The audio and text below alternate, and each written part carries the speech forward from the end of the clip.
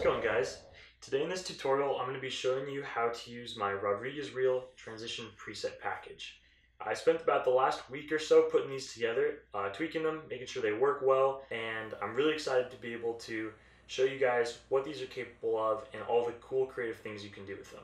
Remember, if you use my transitions and you want a chance to be featured on my Instagram page, make sure to use the hashtag Rodriguez Reel Transitions and tag at Rodriguez Reel for a chance to be featured.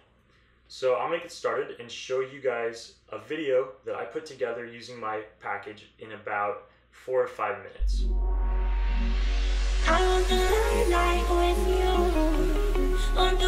Take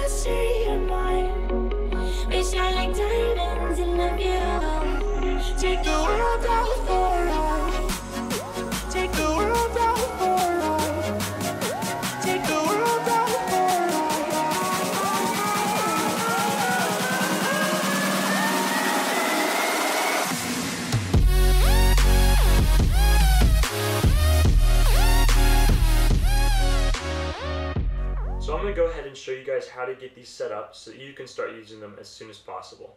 If you haven't already downloaded the preset package, the link is available in the description below. So once you've downloaded the presets, you're gonna go over to your downloads and you're gonna find the Rodriguez Reel Transitions.ffx. In another window, navigate to Documents, Adobe, Adobe After Effects, CC 2015 or 2017, and then User Presets. Next, we're going to drag the Rodriguez Reel transitions into this folder. Now, I already have them, so I'm going to hit stop.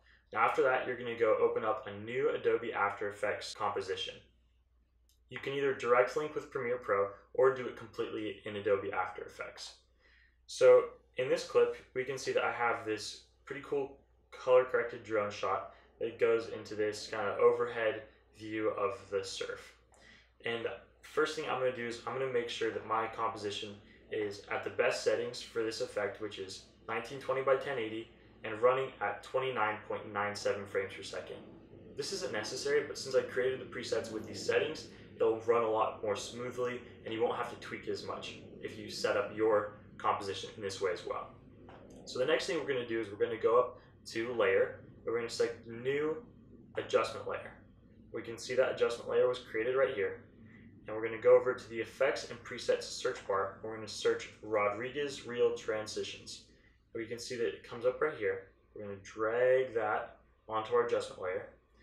And now the effect is applied. Next, I'm going to take my playhead and I'm going to move it to this last frame before the two clips change, which in my case is this frame right here. So now we're going to open up the drop down menu in our adjustment layer, go to effects, and then open up these three curve sliders. We can see that there's a total of 6 plus 6, 12 keyframes that we need to select. Now, we're going to move our cursor until that last frame right before it switches scenes. So on that last frame, we're going to line up these leftmost keyframes right there. And if we see, you can see that as the clip changes, all these keyframes are lined up. If you're using a composition with a different frame rate, you need to zoom in and make sure that the playhead is directly lined up with these keyframes. Let's say instead of like this, these keyframes were off slightly like that. Well, this would be incorrect. We need to go in here and we need to select our keyframes and move them over. If your composition is 29.97 frames per second though, you shouldn't have a problem with this. Alright, so now that we've applied the Rodriguez Reel transition to this adjustment layer, we're going to want to minimize all of these windows so that we can more easily see what's going on. As we scroll through, we see different sections that say on and off or modify. If it's an on off section, that means you can click this FX button on the far left to turn the effect on or off. You can combine any on off section in any way you'd like to come up with unique looks. In addition to these on off buttons, we can see that there's also these modify sections. These sections are designed so that you can give each effect a unique look. So if we go through and we mess with this stretch, we can see this is a stretch angle modifier. And as we move this, we can change the angle of that stretch. In addition to this stretch, there's also a stretch strength modifier, where we can change the amount that this tile is stretched.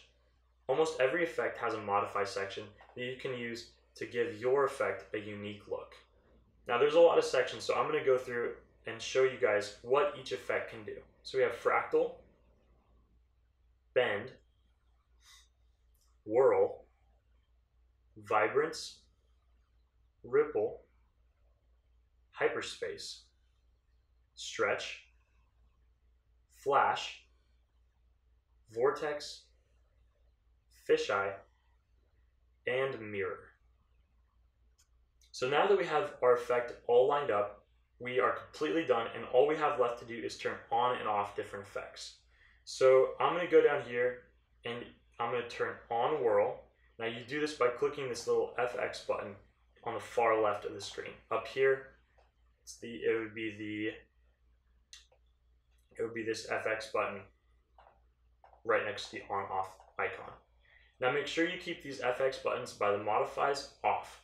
This isn't necessary, but it's easier to see which effects are turned on and off when all you turn on are the on and off buttons. So I can go through here and I can turn on off, let's say whirl, and maybe uh, flash. And now if I play this through, we can see we have a nice effect all queued up for us. Another neat feature of this preset is that you can stack effects to come up with really unique looks. So let's put a fractal on top of that spiral. And we can see that it completely changes the look. So let's turn all of our effects off. We do this by clicking, again, the FX buttons next to the on-off sections. Once all of our effects are off, I want to show you guys one last thing.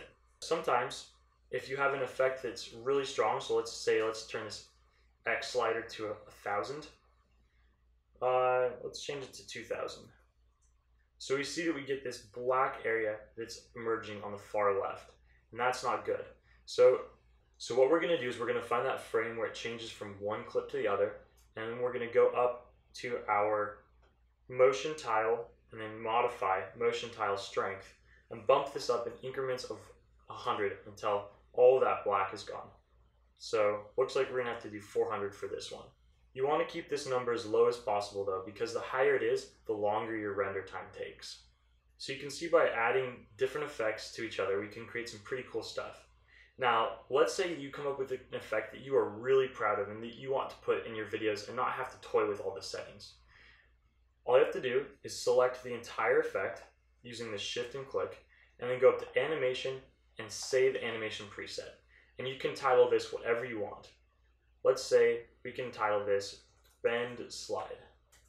Now, if I want to use this effect in the future, all I have to do is click animation, recent animation presets, and then click bend slide.